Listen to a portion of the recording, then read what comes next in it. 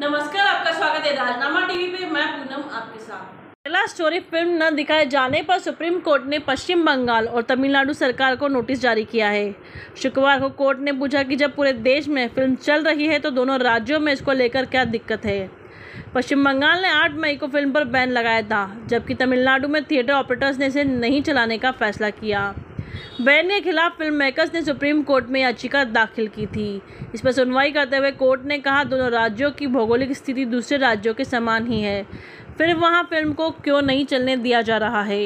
ये मामला कला की स्वतंत्रता का है। ये दर्शकों के ऊपर छोड़ना चाहिए कि वो फ़िल्म देखना चाहते हैं या नहीं। कोर्ट में बंगाल सरकार की तरफ़ से पैरवी कर रहे डॉक्टर अभिषेक मनु सिंघवी ने कहा राज्य को इंटेलिजेंस की तरफ़ से रिपोर्ट मिली थी कि फ़िल्म की स्क्रीनिंग हुई तो राज्य में कानून व्यवस्था को लेकर समस्या आ सकती है। इस पर कोर्ट ने कहा, पश्चिम बंगाल देश से अलग नहीं है। Chief Justice D Y Chandrachud ने तमिलनाडु सरकार के additional advocate general Amit Anand Tiwari से पूछा, आपने कानून व्यवस्था को बनाए रखने के लिए क्या कदम उठाए? राज्य सरकार ये नहीं कह सकती कि हम कोई रास्ता निकाल रहे हैं। वहाँ थिएटर्स पर अटैक किए जा रहे हैं, कुर्सियाँ जलाई जा रही हैं। लॉ एंड ऑर्डर कायम रखना आपकी ज़िम्मेदारी थी। इसी के साथ बने रहे राजनामा टीवी के साथ। धन्यवाद।